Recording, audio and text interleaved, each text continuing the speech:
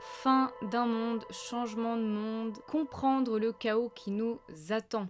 Voyons une petite rétrospective depuis 2008 et que va-t-il se passer jusqu'en 2050 C'est une époque, une période charnière puisque ça correspond à une transition et nous vivons actuellement cette transition. Cet épisode se base principalement sur les principes numérologiques, les principes alchimiques, les principes d'initiation, avec entre autres de la médiumnité et simplement de la logique. On ne veut pas que ça change, mais on n'aime pas le monde dans lequel on vit, c'est évidemment tout le paradoxe de notre monde. Comme certains le savent, nous vivons une véritable transition planétaire, justement, c'est-à-dire que nous sommes en train de changer d'air. Autrement dit, c'est la fin d'un monde, la fin d'une époque, et le début d'un autre. Or, depuis quelques années, justement, nous vivons cette transition entre ces deux mondes. C'est d'ailleurs absolument inédit hein, de vivre un changement d'air pour un être humain, donc on assiste vraiment à un tournant majeur dans l'histoire et certains ne s'en rendront compte que plus tard. Néanmoins, nous participons tous, que nous le voulions ou non, à la fin de quelque chose et à la naissance d'autre chose. Chaque transition d'une manière générale est un processus alchimique, puisque pour passer d'un état à un autre, il y a évidemment plusieurs phases. Ce qu'il faut comprendre et retenir, c'est que systématiquement avant l'avènement d'une nouvelle ère, il y a le chaos. Et durant ce chaos, on va être régi par le principe du solvé et coagula en alchimie, c'est-à-dire que on tombe, on se relève, on tombe, on se relève jusqu'à ce que les choses se stabilisent. Donc pour comprendre un petit peu tout ça, on va d'abord essayer de comprendre ce fameux chaos. Un cycle s'articule toujours autour de l'alpha et de l'oméga, c'est-à-dire qu'il y a un début et une fin. La question à se poser, c'est qu'est-ce qu'il y a entre l'oméga et l'alpha? Autrement dit, entre la fin et le commencement. Si entre le commencement et la fin il y a un cycle, qu'avons-nous entre la fin et le commencement? Eh bien, rien. Sauf que ce rien sur Terre se traduit par l'effondrement d'un système, la fin des lois, le début de l'anarchie, l'évanouissement des repères, en bref, ce fameux chaos. C'est cette phase qui nous intéresse, c'est cette phase de rien, puisque jusqu'à l'oméga, jusqu'à cette phase du rien, le monde était régi par quelque chose. Alors qu'il soit bon ou mauvais, le monde était régi par quelque chose. Ici, on était régi par l'ère du poisson. C'est vérifiable d'un point de vue astronomique et astrologique. On peut d'ailleurs le vérifier sur les cartographies astrologiques. Hein. On ne voit plus que la queue du poisson et on ne voit pas encore tout à fait le verso. Donc au centre, au-dessus de nos têtes, il n'y a rien. Lorsque le monde n'est plus régi par quoi que ce soit, il n'y a plus de repères. Et un homme qui n'a plus de repères, un monde qui n'a plus de repères, entre dans l'errance et entre dans une phase de déshumanisation. Un homme qui n'a pas de foyer, c'est un homme qui est déshumanisé. Donc logiquement, dans une phase de déshumanisation, eh bien tous les coups sont permis et le pire est à venir. C'est-à-dire que le chaos, c'est le règne du mal sur le bien, c'est la domination de l'ombre sur la lumière. Car les repères qui permettent justement de délimiter, de limiter sont anéantis, c'est donc la porte au non-sens. Je pense que un certain nombre de personnes ont dû s'en rendre compte. C'est donc la cristallisation du néant dans la matière, et ce néant devient un petit peu la porte ouverte des ténèbres où il n'y a plus de loi. Alors ça ne veut pas dire qu'il n'y a plus de lumière, hein, c'est juste qu'elle est moins évidente puisqu'elle n'est plus elle-même régie par quelque chose, mais elle reste tout aussi présente. Si L'ère du Verseau avait commencé par exemple en 2012, comme beaucoup l'affirment, on ne vivrait pas le chaos. On serait déjà en train de vivre une nouvelle ère, on serait justement dans une ère bien établie et tous les problèmes quotidiens, si je puis dire, auraient du sens. Ça ne veut pas dire qu'il n'y aurait plus de problèmes, ça voudrait juste dire qu'il y aurait du sens. Ici, on le voit, il n'y a pas de sens. Tous les jours, on apprend des choses qui n'ont pas de sens. Le chaos est donc un facteur et le symptôme précédant la nouvelle ère et non une conséquence. Ce chaos, c'est donc une époque en chantier où tout est déconstruit et où il va falloir rebâtir. Le chantier, c'est donc ce chaos. Toute véritable transformation est précédée d'un chaos. C'est comme ça, c'est logique. Tout est fait pour que les peuples sortent de leur zone de confort, tout est fait pour nous forcer à avoir des prises de conscience. De toute façon, la prise de conscience passe par la souffrance. Le problème avec ce genre d'événement mondial, avec ce genre de transition mondiale, c'est que On est sur des énergies globales et il y en a qui vont ramasser alors qu'ils sont déjà lucides sur ce qui se passe. Il y en a qui vont souffrir aussi alors qu'ils sont quand même déjà conscients. Pour ces gens-là, évidemment, prenez vraiment du recul et placez-vous en spectateur. Donc le chaos est nécessaire pour que les esprits se réveillent. Globalement, il faut environ 50 ans pour changer d'air. La transition passe par cinq grandes étapes. D'abord avec une phase introductive et enfin avec une phase d'enracinement. Entre les deux, il y a trois grandes phases de chaos qui vont durer environ 30 ans. Alors comprenez surtout que chaque phase s'entrecroise et se superpose. Rien ne se fait du jour au lendemain. Tout se termine toujours un peu après et tout commence toujours un peu avant. Les dates ici servent vraiment de repère. Durant ces trois grandes phases de chaos, il va y avoir un grand nettoyage et c'est justement parce que ça va se nettoyer que ça va créer la pagaille. On ne peut pas vraiment nettoyer dans l'ordre et la structure, c'est pas encore possible. Donc ça va d'abord monter en puissance et ça va redescendre doucement. Imaginez donc un triangle à pointe vers le haut, ça va monter, ça atteint un pic et ça va redescendre.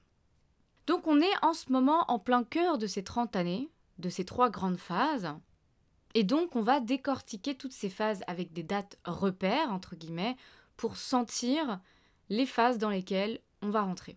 L'introduction a commencé début des années 2000 avec un déclin en 2008. D'ailleurs, d'un point de vue géopolitique, ça s'est confirmé, on a eu la crise de 2008, ça a marqué véritablement une première bascule. Quatre ans plus tard, en 2012, on est arrivé à un tournant majeur. 2012, c'est une date très importante car elle marque le premier changement, celui d'un changement de conscience. Il y a eu véritablement une ouverture de conscience, comme si les énergies du Soleil et de la Lune s'étaient unies pour permettre à l'homme de trouver la vérité. C'est-à-dire qu'en 2012, on peut comprendre ça comme une lumière s'est allumée. Alors certains l'ont vu, certains l'ont senti, d'autres non, c'est pas forcément très évident. Mais voilà, 2012, ça a marqué une prise de conscience généralisée. C'est donc le véritable point de départ. Et puisque avant de changer d'air, il faut d'abord un changement de conscience, il y a donc eu une première lumière. Donc 2012, c'est cette prise de conscience avant chaque grand changement. C'est un peu l'éveil avant le grand réveil. Donc ça, c'est la première phase introductive, la lumière qui s'allume, un premier déclin. La première grande phase, elle commence à commencer en 2017. Donc en 2017, on est rentré dans le vif du sujet, à savoir le chaos, et on est rentré dans la purification par le feu. Ici, les pots se cassent. Alors le feu, c'est la colère, c'est la destruction. On a donc une phase qui s'articule sur la destruction d'une manière générale. On le constate très clairement avec tous les événements qui se sont déroulés ces dernières années. On a d'abord eu une annonciation avec des lieux euh, symboliques qui ont brûlé. Je pense évidemment à Notre-Dame ou à la forêt amazonienne. La flèche qui tombe la première sur Notre-Dame n'est pas un événement anodin puisque ça montre très clairement le fait que les peuples ne sont plus alignés. En outre, on a pu avoir un certain nombre d'incendies partout dans le monde, dans tous les pays. On a eu de nombreux foyers qui ont brûlé. Je revois encore euh, de nombreux articles de presse qui euh, dévoilent des maisons qui ont brûlé comme ça presque sans raison.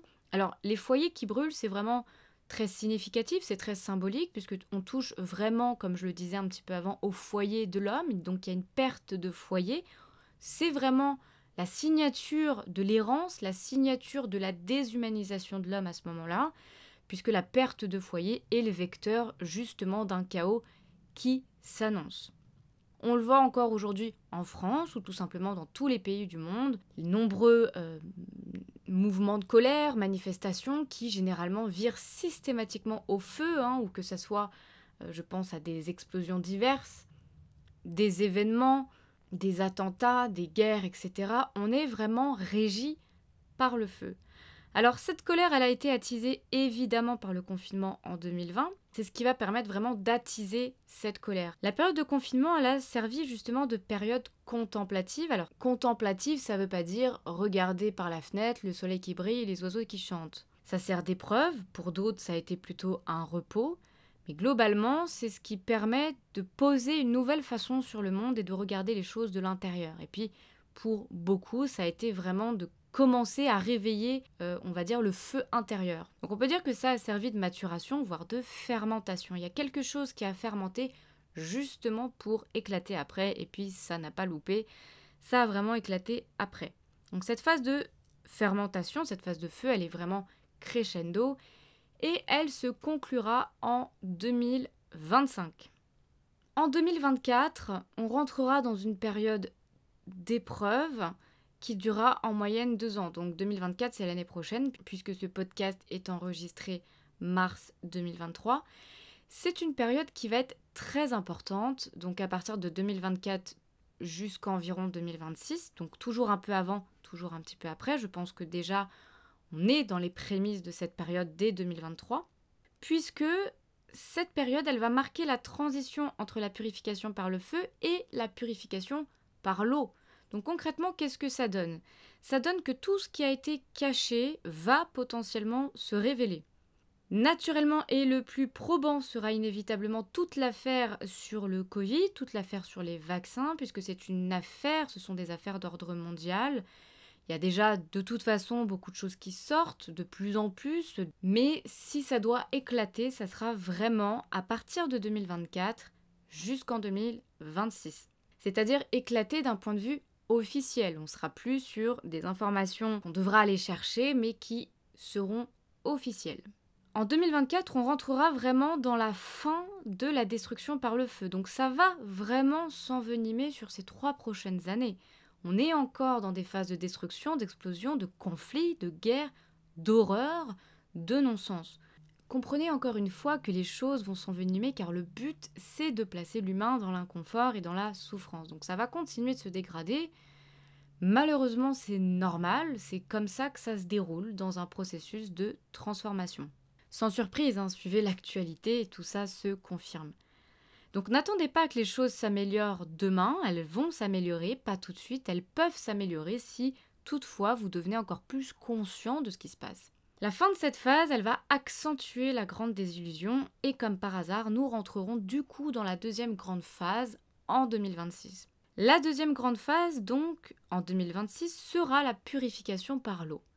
On rentrera à ce moment-là en 2026 dans une autre phase. On quittera les énergies de la colère, on quittera les énergies du feu.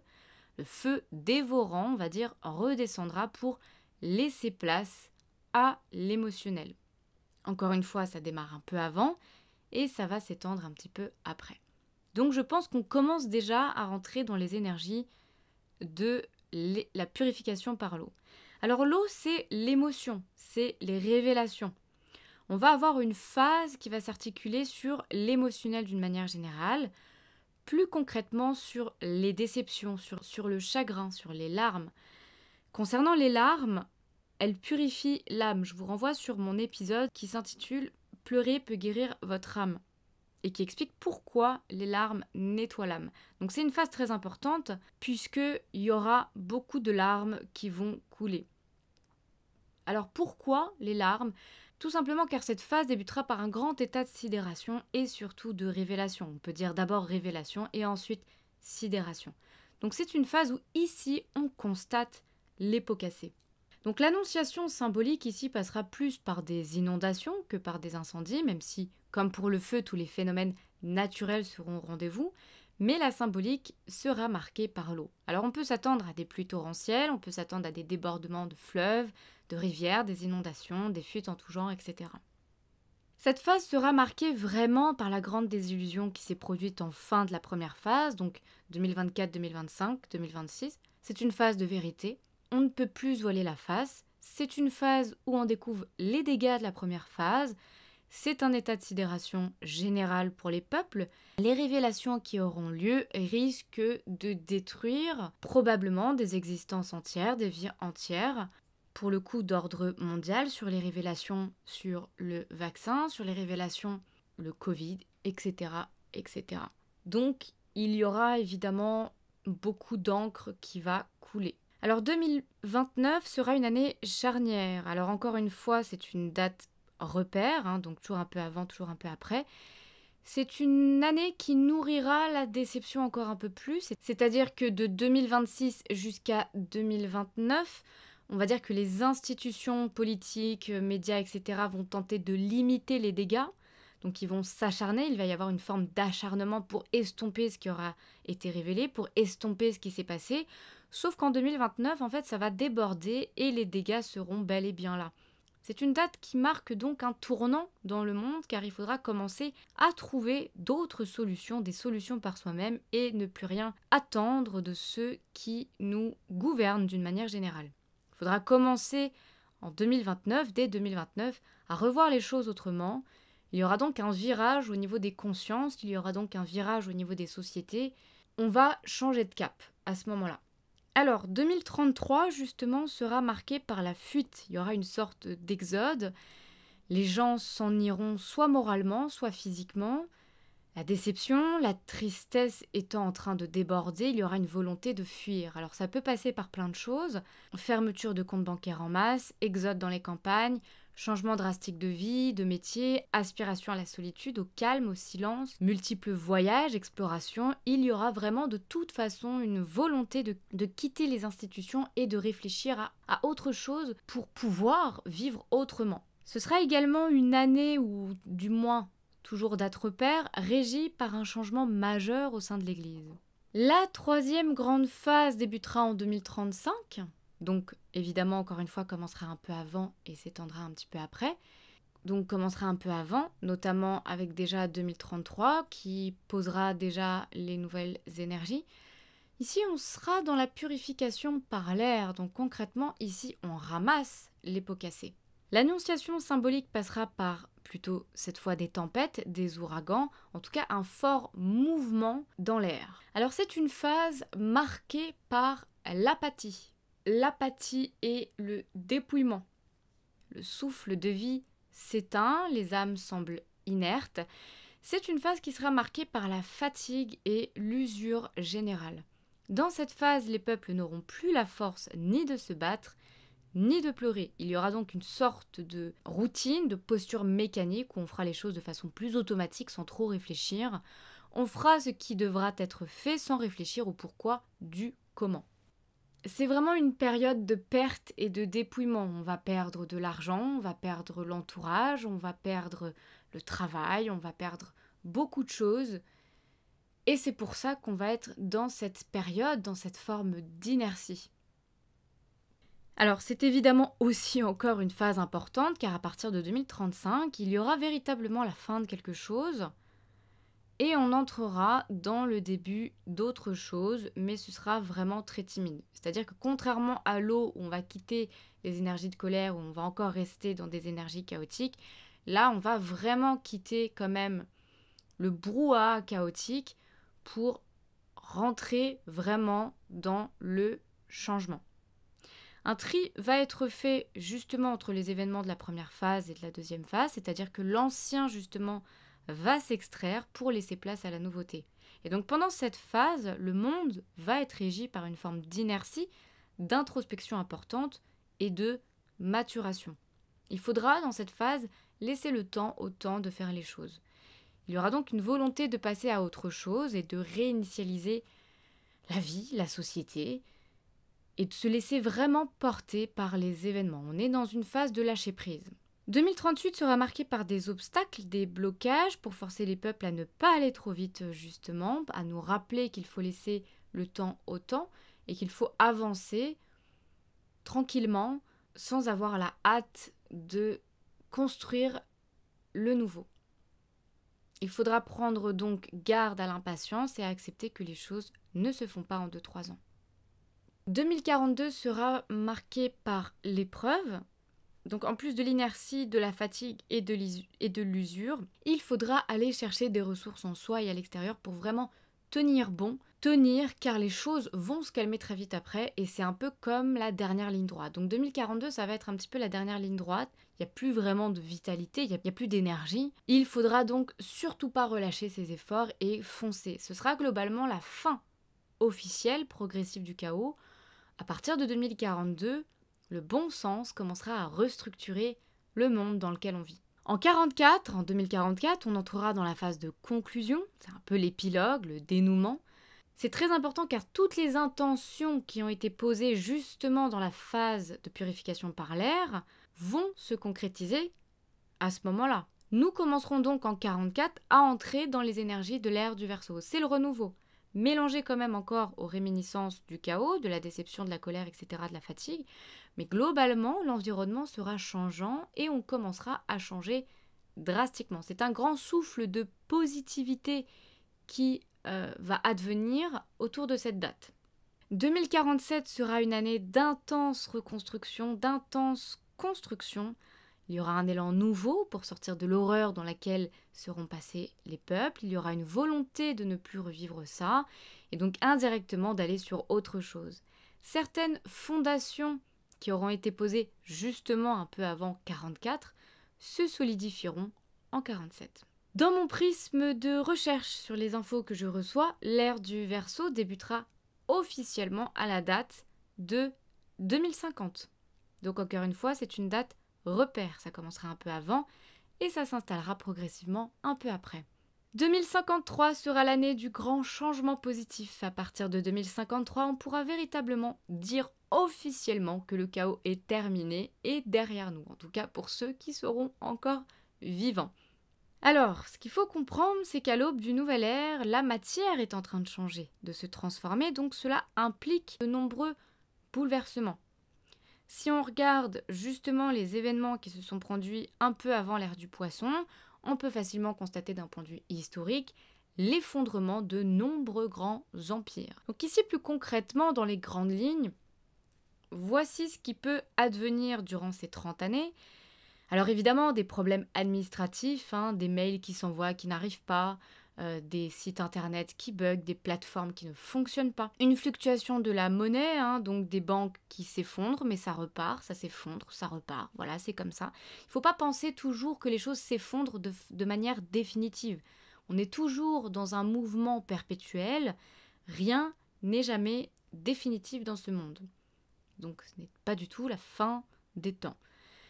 Donc voilà, ça va s'effondrer, repartir, s'effondrer avant de se stabiliser. Il y aura de nombreux problèmes informatiques, bugs, blocages. Méfiez-vous de tous les placements illusoires, c'est-à-dire de placements financiers où vous ne pourrez pas toucher votre argent physiquement. Je pense notamment aux assurances vie qui vont être lourdement taxées, donc privilégier des placements physiques tels que l'or ou la pierre. Euh, le prochain grand événement mondial sera d'ordre nucléaire. Je ne sais pas quand est-ce qu'il arrivera. J'aurais tendance à penser qui surviendra certainement à la fin de cette phase de purification par le feu et de début de purification par l'eau. De nombreuses choses vont euh, s'effondrer, je pense notamment au cinéma qui va littéralement s'effondrer. Il faudra créer autre chose, revoir complètement cet art et restructurer complètement. Il y aura évidemment de grandes pénuries et encore une fois un dépouillement pour beaucoup de personnes qui, je pense, donc devraient se produire à cette phase de purification par l'air. Ce n'est pas une mauvaise chose. Alors évidemment, ça va être très difficile à vivre, mais c'est bien après qu'on se rendra compte que tout ça finalement aura servi à quelque chose. Quelques mots sur l'ère du Verseau, sur l'ère qui nous attend. C'est une ère humaniste, de curiosité, d'empathie et en même temps non soumise. Une ère de réunion, de communion, de spiritualité, de progrès, de liberté, d'humanité, de nouvelles technologies, de fraternité, d'authenticité, de partage et de connaissance. Mais tout ceci sera assez contrasté, c'est-à-dire que les gens, par exemple, qui seront dans le monde spirituel seront très spirituels, et les autres, dans le côté moderne, plus matériel, seront très portés sur les nouvelles technologies. Cela étant, il y aura a priori pas vraiment de scission entre ces deux mondes, mais plutôt une entente cordiale, une entente fraternelle, où les deux iront se nourrir chez l'un et l'autre. Ce sera une ère de créativité dans ce contraste, il y aura une forme de compréhension entre ces deux écarts. Il y aura évidemment des excès, mais on sera régi par le verso, donc il faudra plutôt s'attendre à une forme de vase communicant entre les deux pôles. On est dans une association qui ne sera non pas dans un face-à-face, mais bien dans une complicité. Alors c'est le paradoxe du verso, on tendra vers deux extrémités, mais qui deviendront ici plutôt une force et non un fardeau. C'est une ère visionnaire, c'est une ère où la spiritualité sera d'ordre quantique et ou bioénergétique. C'est-à-dire que les rituels, les nouveaux cultes seront axés sur les principes d'énergie. Il y aura vraiment un travail, une conscience, une ouverture sur l'énergie. C'est en ce sens qu'on aura une collaboration avec le progrès technique. On peut donc s'attendre et espérer enfin une alliance entre science et spiritualité. Tout ceci se fera bien entendu progressivement, hein, puisqu'une ère dure en moyenne 2050-2100 ans. C'est une ère où aucun prophète n'est à venir, puisque tout le monde sera son propre prophète, si je puis dire. C'est-à-dire que tout le monde prendra conscience que tout est déjà à l'intérieur de soi et que nous avons toutes les ressources intérieures pour évoluer pleinement. L'ère du poisson étant régie par le dogme, il y aura ici une véritable liberté de pensée, de foi et une liberté de croyance. Donc on comprendra vraiment que la grandeur divine est déjà en partie à l'intérieur de nous-mêmes. Comment réagir face à tout ce chaos? C'est évidemment la question à se poser. Alors sachez que l'espoir est là, ce n'est pas la fin du monde, mais juste la fin d'un monde. C'est une bonne chose car c'est l'opportunité d'évoluer vers autre chose et surtout vers quelque chose de nouveau. Rien n'est définitif et ce n'est pas la fin des temps. Ne soyons pas trop alarmistes, puisqu'il y a beaucoup beaucoup trop de personnes qui commencent à dire que c'est la fin du monde, c'est la fin du monde. Non, ce n'est pas la fin du monde, c'est la fin d'un monde. C'est une période très difficile pour beaucoup car on n'en voit pas le bout, car c'est long pour nous à notre échelle d'être humain, c'est long. Évidemment, si on vivait 200, 300, 400 ans, ça serait une parenthèse, au final. Mais dans notre échelle humaine, ça nous paraît très long. Ce n'est pas la première fois que le monde vit ce genre de transition, ça ne sera pas la dernière fois. Tout le monde sera impacté par cette transition d'une manière ou d'une autre. Mon mot d'ordre, c'est évidemment de sublimer le chaos. Alors concrètement, ça donne quoi? Eh bien de redoubler de créativité, de rebondir sur les événements pour proposer quelque chose de nouveau, de redoubler d'efforts pour admirer et contempler la beauté qui existe encore partout. Alors attention, ça ne veut pas dire être dans le déni et ne pas se préoccuper du chaos, bien au contraire, je suis la première à dire qu'il faut systématiquement faire preuve de discernement et être lucide sur les événements. Mais il faut pouvoir tenter de prendre du recul dessus et ne pas se laisser impacter par tout ce qui arrive chaque jour. Il s'agit de suivre sans être impacté.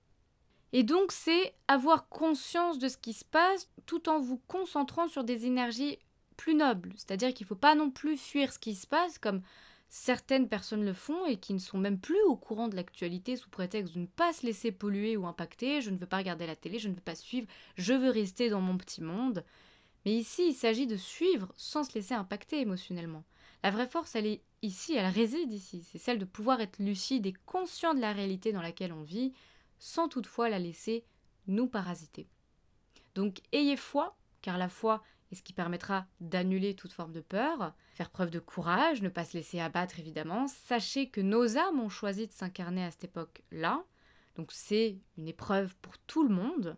On s'est incarné à ce moment-là, on a eu des vies avant, on aura certainement des vies après, voilà, c'est comme ça les choses continuent, qu'on le veuille ou non, nous ne sommes pas le centre du monde. Le fait de savoir et peut-être de comprendre ce qui se passe déjà euh, permettra de relativiser et d'amoindrir ses attentes sur le monde. C'est du coup une manière, bonne manière, de rester positif. J'espère que tout ceci ne vous aura pas plombé, c'est pas le but, mais plutôt le fait de savoir, nous rassure. Je pense que c'est plutôt l'inconnu aussi, le fait de ne pas savoir ce qui va arriver, ce qui peut se passer qui nous terrorise. Voilà, rappelez-vous que ça fait partie du monde, ça fait partie de la vie, les choses changent, les choses évoluent, rien n'est immuable dans ce monde, surtout pas nous. La vie continue, nos vies continuent, et je nous souhaite plutôt de participer de la meilleure des manières aux prémices de ce nouveau monde. Je vous dis à très bientôt, je vous embrasse.